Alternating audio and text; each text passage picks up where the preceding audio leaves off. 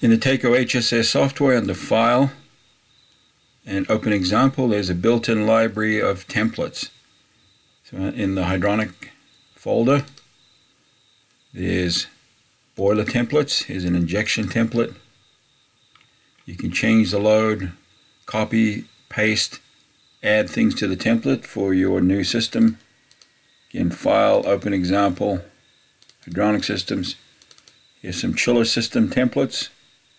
Here's a variable volume triplex chiller system. And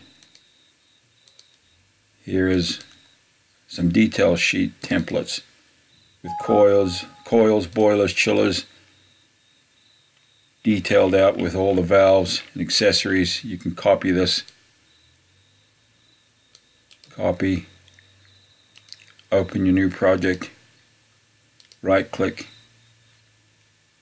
and paste. And you have your new project. Again, that's templates, file, open example. Thank you.